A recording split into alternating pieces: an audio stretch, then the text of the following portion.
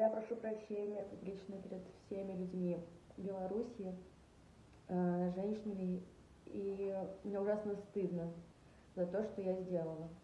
Мне стыдно за то, что э, моя, лично моя мораль была нарушена, и я это сделала, это факт. Оправдывать себя тем, что я получаю текст за три минуты до мотора, это уже не важно. Я просто искренне прошу прощения перед всеми людьми. Я знаю, как вам больно. И, и это было ужасно, ужасно безбожно с моей стороны.